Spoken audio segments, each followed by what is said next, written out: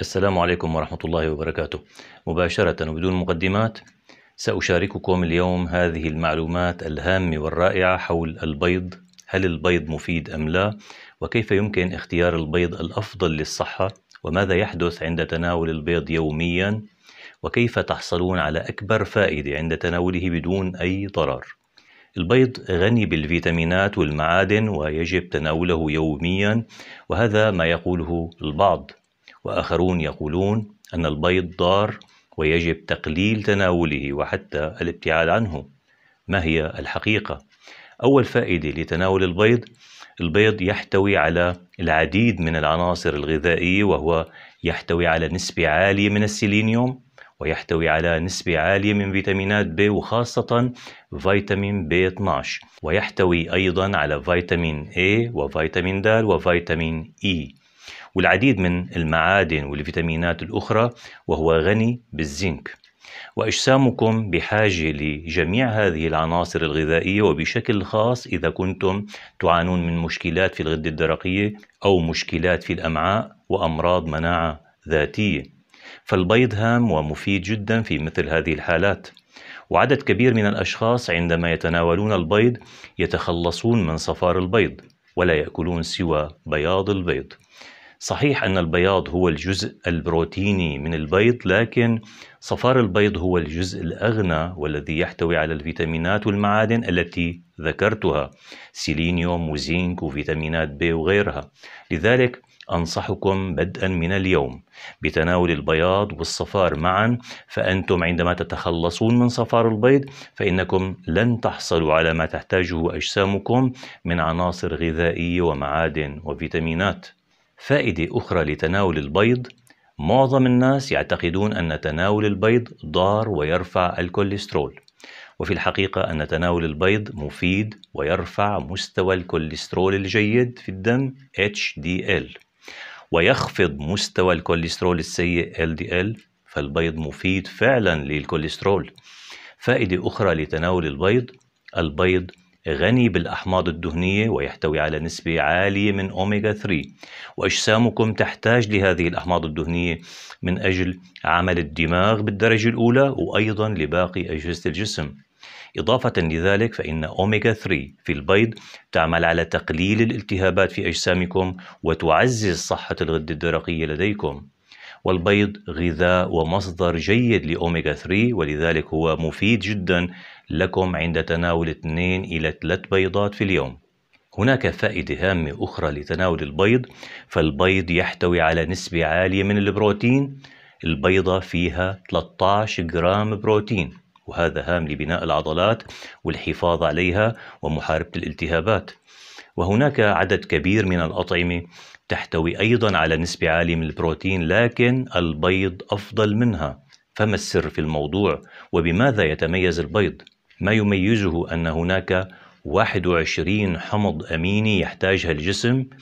تسعة منها أحماض أمينية أساسية يحصل عليها الجسم فقط من أغذية وأطعمة خارجية. والبيض سبحان الله يحتوي على كل هذه الأحماض الأمينية التسعة. ويحتوي البيض أيضا على نسبة عالية من مضادات الأكسدة وتسمى لوتين وزانثين. وهي مضادات أكسدة في غاية الأهمية تعزز صحة العين وتحميها من الإصابة بأمراض العين المرتبطة بالتقدم بالعمر كما أنها مفيدة جدا للبشرة وهي مضادات التهاب طبيعية تقلل من خطر الإصابة بالالتهابات. وعدد كبير من الأشخاص لديهم اعتقاد خاطئ بأن البيض يسبب الالتهابات في الجسم وحبوب وبثور في الوجه وأنه لا يعطى في الحالات الالتهابية. وفي الحقيقة هذا الاعتقاد غير صحيح على الإطلاق. فمضادات الأكسدة الموجودة فيه لوتين وزانثين تعمل على تقليل الالتهابات في الجسم ومفيدة للأشخاص الذين يتناولون البيض يوميا. فائدة أخرى لتناول البيض وهي في غاية الأهمية فالبيض يحتوي على نسبة عالية من الكولين والدماغ يحتاج بشكل كبير للكولين من أجل عمله بشكل صحيح وخلايا الدماغ تحتاجه بشكل دائم ولا يمكنها الاستغناء عن الكولين. والأشخاص الذين يعانون من اضطرابات في الدماغ مثل الألزهايمر والخرف يكون لديهم غالبا مستوى منخفض من الكولين. والكولين الموجود في البيض مفيد أيضا للتخلص من الاكتئاب والقلق واضطرابات المزاج وقلة التركيز ونقص الذاكرة. كما أنه مفيد لصحة الكبد والكبد الدهني وارتفاع الدهون الثلاثية. والبيض سبحان الله هو الغذاء الذي يحتوي على أعلى نسبة كولين طبيعي بين كل أنواع الأغذية. ولذلك فإن له أهمية كبيرة وفوائد عظيمة. الآن سأتحدث عن مشكلة البيض ومتى يكون لتناول البيض آثار سيئة. الأشخاص الذين يتناولون البيض بشكل منتظم أكثر من أربع بيضات في اليوم يعني خمسة إلى عشر بيضات في اليوم وهؤلاء موجودون في الواقع هؤلاء لديهم فرصة وخطورة من الإصابة بأمراض القلب. كما أنهم معرضون لخطر الإصابة بالسرطانات وخاصة عند تناولهم للبيض غير الصحي يعني غير البلدي. وهناك أشخاص يعانون من حساسية البيض وبنفس الوقت يعانون من حساسية تجاه منتجات اللبن غالبا. لذلك إذا كنتم من هؤلاء الأشخاص عليكم أن تبتعدوا عن تناول البيض لمدة 8 أسابيع. وبعد ذلك يمكن تجربة تناوله وإدخاله إلى أجسامكم.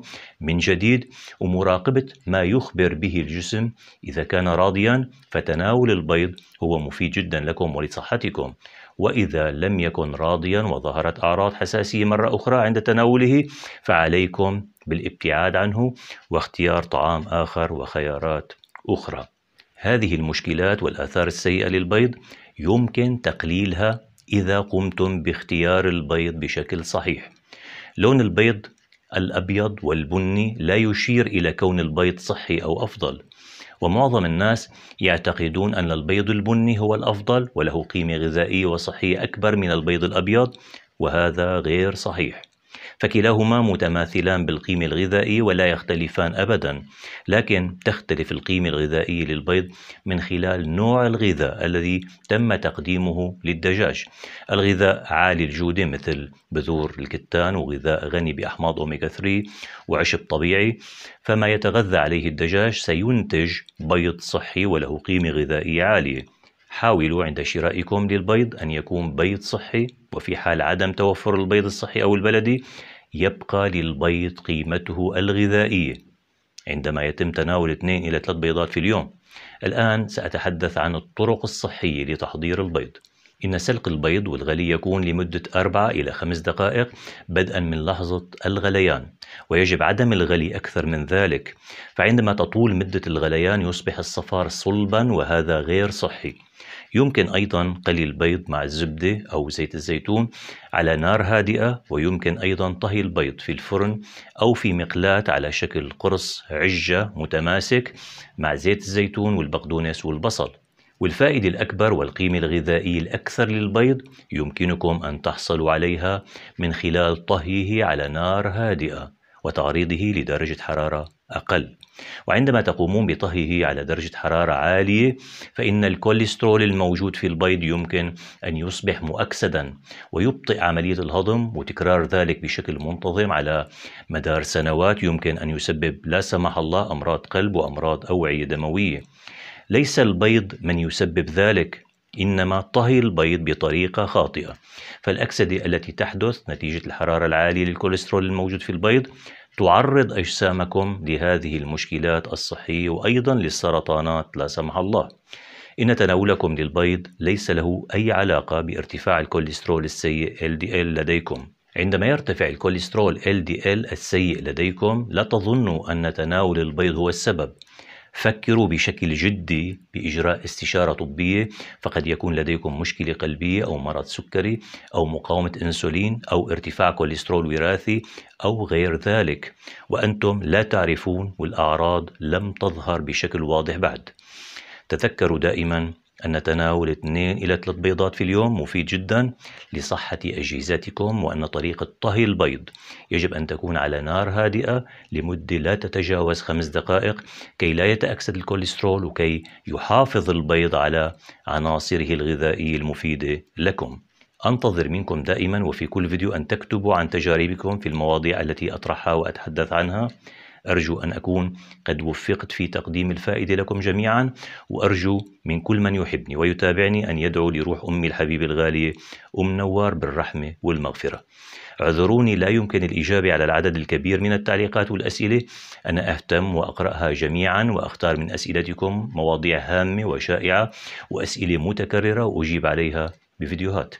شكرا لفريق الإعداد في قناتي وأخص بالشكر زوجتي الفاضلة الدكتورة أكابر خضور علي استشارية بالأمراض الباطنة والغدد والسكري والتي نعمل سويا كأطباء في صناعة محتوى قناتي معتمدين على دراساتنا وبحثنا المستمر. دعموا قناتي بالمشاهدات واللايك والتعليقات. وشاركوا الفيديو شاهدوا الفيديو أكثر من مرة واكتبوا بالتعليقات الاسم وفي أي بلد تعيشون وتقيمون من يرغب بدعم القناة واستمرارية القناة واستمراري بتقديم الفيديوهات يمكن أن يدعم قناتي من خلال ميزتين ميزة شكرا وأيضا من خلال ميزة الانضمام إلى القناة. أحبكم جميعا عائلتي الجميلة عائلة الدكتور نوار علي بحفظ الله ورعايته.